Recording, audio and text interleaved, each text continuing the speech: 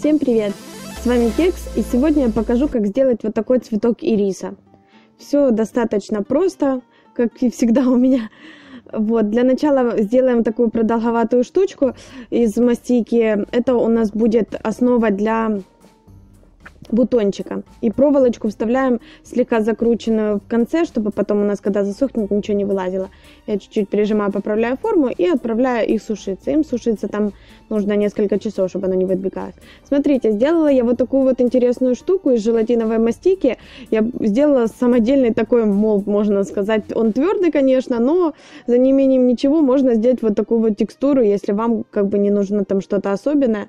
Мне нужны просто были такие бороздочки. Оно у меня, конечно, не закрывается, потому что чуть-чуть сместилась верхушечка у меня. Вот, если кому будет интересно, расскажу, как я это делала. Можете посмотреть в интернете. Таких довольно много всяких штучек. Вот. Берем мы с вами два вида э, мастики. И вот так вот я вырезала из картона э, как это, лепесточки, два разных лепесточка, вот. То есть, пожалуйста, э, здесь никаких э, проблем, я думаю, не возникнет. Абсолютно я на глаз все сделала. Вот. То есть, пробуйте. Для начала я раскатаю мастику. Одна у меня вот, такая вот насыщенная фиолетового цвета. Э, я ее делала, смешивая именно фиолетовый и немного синего туда добавила, чтобы такой насыщенный цвет у меня получился. Ее нужно раскатать довольно тонко. Собственно, как для любых лепесточков мы делаем, будь то роза, будь то что угодно, чтобы реально было, то нужно раскатать довольно тонко. Из них я вырезаю, мне нужно будет три фиолетовых лепестка, это будут нижние лепестки нашего ириса, а верхние лепесточки я решила делать голубыми. Ирисы бывают абсолютно разнообразные, как с круглыми лепестками, так и просто с длинными, то есть их множественное количество, поэтому даже если вы сделаете не совсем похожий на тот, что вы стремились, то знаете, такой ирис все-таки может существовать на самом деле. Вот я сделала своих три нижних лепесточка. Для... Теперь мне нужно туда вставить проволочку в них.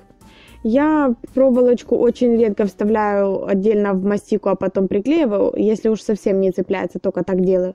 А так обычно вот беру я в стаканчик, макаю водичку и между пальцами аккуратненько просовываю внутрь туда. И больше ничего не делаю. Если особенно мастика темная, то ничего не видно. Ну, потому что у меня просто темная проволока, поэтому ничего не видно. Теперь я сделаю текстуру. Я просто беру мою вот эту вот крышечку верхнюю и к ней прижимаю. Можно взять к нижней, можно взять к верхней, без разницы. Там, где текстура вам больше нравится.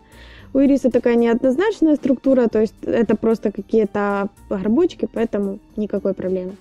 И теперь мне нужно сделать такие валанчики. Я, у меня вот отломалась моя штучка для таких рюшиков, вот кругленькая. Вы можете чем угодно сделать, хоть то зубочисткой, без разницы чем, просто чуть-чуть волнистые такие эти. Это для нижних лепесточков, поэтому лепесточек нужно согнуть вот так вот в сушилке, чтобы он у нас просох таким изогнутым немножко как бы наверх. Но я сейчас покажу.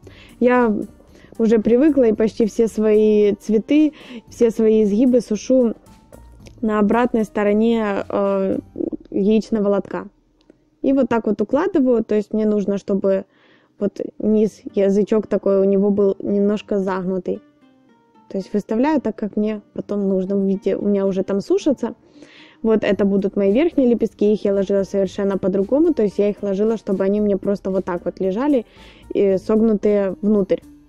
То есть одни наружу выгнутые, одни внутрь согнутые. Вот, теперь мне нужно сделать, эм, господи, как маленькие вот такие вот штучки. Э, их я тоже просто прижала, вырезала и положила сушиться вот так вот согнутым, вот так вот. И просто они у меня тоже просыхали. То есть сделали э, три синих, три маленьких фиолетовых и три больших фиолетовых, всех по три. Тут что-то я плохо присыпала крахмалом снизу, и чуть-чуть у меня к руке пристало. Руки горячие, мастика сразу подтекает. Это я хочу показать, оборачивайте вы наш бутончик. Мы вначале его обернем вот таким вот обычным синим лепесточком. Я просто пальчиком, видите, водичкой увлажняю, чтобы у нас все хорошо прилипло. А потом я еще сверху таким просто обычным уголочком зеленого обернула, просто э, уже нет смысла одно и то же показывать. Просто беру и как одеялком заматываю. Здесь у меня просто, чтобы никаких просветов не было. Пальчиком увлажнила, где оно у меня должно потом соединиться. И делаю вот такой вот бутончик. И с задней стороны у меня будет зелененькое такое. Зажимаю снизу, чуть-чуть поджимаю там, где у меня не должно ничего лишнего торчать. И остаток тот, что мне не нужно, я просто его стягиваю вниз. Вот он у меня остаток ушел. Я туда его просто сняла с проволоки. И получился вот такой бутончик. Сзади будет вот это зелененькое. И тоже его отправляем сушиться.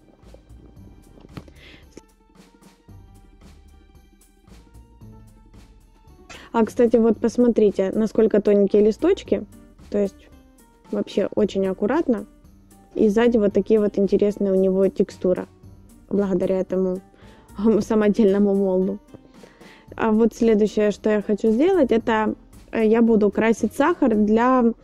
Э, боже, как это называется? У цветка понятия не имею. На нижних цветочках у них такие желтые, пушочек у него такой желтый. Вот. Ну, так как пушочек я не придумала, как сделать, решила сделать это крашеным сахаром. Чуть-чуть красителя и буквально одна капелька водички, чтобы только растворился краситель, но особо жидкости не было. Просто слегка влажная. И туда добавляю сахар. Э, ну, у меня это мне достаточно будет буквально чуть-чуть, вот чайной ложке мне абсолютно. И перемешиваю. Э, если у нас будет много воды, сахар начнет растворяться.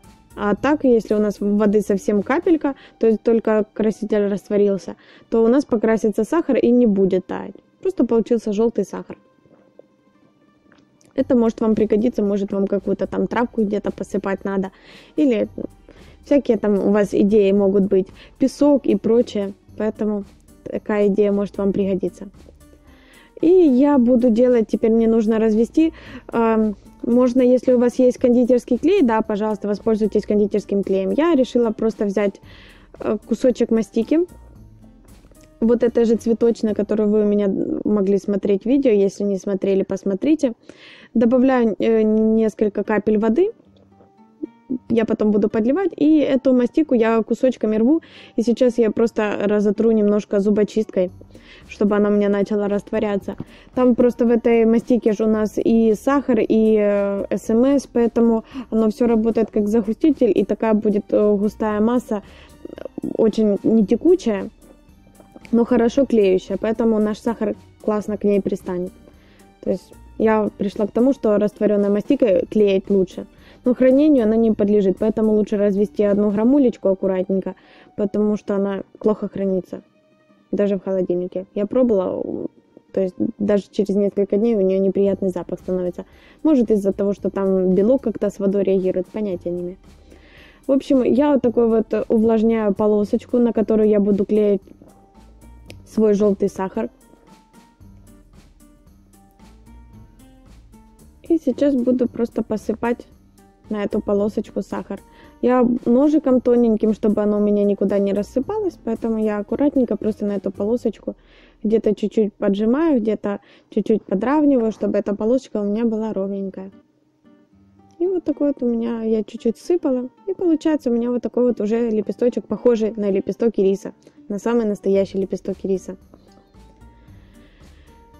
Так, вот, собственно, мои лепесточки. Посмотрите, вот они кажутся такими бугристыми. Действительно, как будто там какая-то какая-то какой-то пушок. И теперь я решила почему-то обвести свои кончики цветов синим красителем и просто вот так вот кисточкой подметающими движениями я кончики всех своих лепесточков обошла синим красителем. На самом деле, может, лучше бы я этого не делала, не совсем реалистично получилось. Ну, вышло как-то так, не совсем заметно, но такой немножко объемности придают. Вот. И теперь уже, когда у нас все чуть-чуть подсохло, можно, в принципе, собирать наши цветы. Но еще нужно сделать э, какой-то оттенок. Э, я хочу на своих э, голубых лепесточках сделать небольшой, вот еле заметный оттенок зеленого. Поэтому я взяла э, кукурузный крахмал капельку и смешала э, с зеленой пыльцой чтобы получился очень легкий цвет, такой раз, ну, размытый, не очень насыщенный. И, и вот ним я протираю. Просто у меня нету очень светлого цвета, поэтому пришлось выходить таким образом. И вот они слегка-слегка вот зеленые. Можно вообще без этого, то есть это абсолютно не принципиально. Вы видите, это слегка-слегка вот оно зеленцой покрыто. И так поступаю я со всеми, со всеми голубенькими лепесточками, с той стороны, которая у нас будет видна глазу, с той стороны я такими подметающими движениями растираю слегка зеленю. Все, я разрезала свою тейп-ленту напополам, она у меня сантиметровая, а если разрезать напополам, с ней удобнее работать. И на дольше ее хватит. Поэтому я разрезала ее напополам. И сейчас буду скручивать э, цветочек. Первые три лепесточка, это три вот этих маленьких я буду скручивать. Они у нас, э, я не знаю, как просто торчат в стороны. Они никуда ни вниз не опущены, ни вверх. Они просто у нас будут торчать вот так вот в стороны. Э, тейп-ленту я слегка прижимаю, растягиваю. Благодаря этому у нее там внутри в прожилочках такие, как клеющие вещества. И потом она хорошо скрепляет и не будут шевелиться наши лепесточки. И потом присоединяю, собственно, смотрите, я по одному лепесточку присоединяю и буквально один-два оборота тейп-ленты делаю, чтобы хорошо закрепить данный лепесток. Ну, если вам достаточно одного оборота, делайте одним. Я на самом деле, хоть убейте, вот зимой не помню, что находится у ириса внутри. То есть какая у него там есть какая-то тычинка, не тычинка. А в интернете они все, я начала открывать, они все какие-то сбоку сфотографированы, то есть серединки нету. Я потом туда просто, уже когда у меня будет готовый цветочек, я туда бусинку поставила. Я не вспомнила, что там внутри есть такое. Вот э, эти штучки вы потом слегка приоткроете, когда уже цветочек ваш будет готов, вы откроете так, как вам нужно. То есть развернете эти лепесточки и степень открытости такой, ну, более зацвевший цветок или только расцветающий, вы можете здесь контролировать.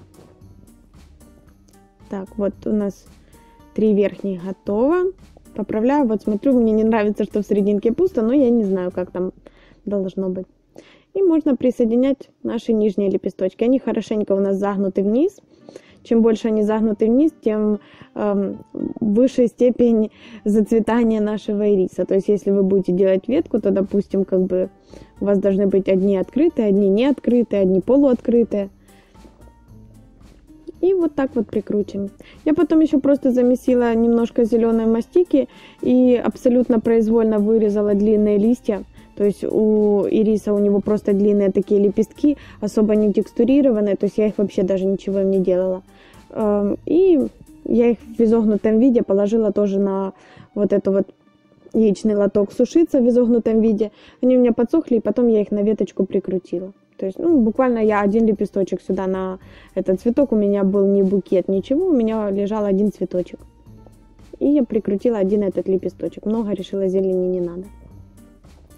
Вот такой вот у меня этот ирис получился. В следующий раз я, наверное, сделаю вот эти фиолетовые э, лепесточки немножко пошире. То есть голубые ставлю такого размера. В следующий раз лучше я сделаю немножко пошире, потому что, мне кажется, немножко пустовато место.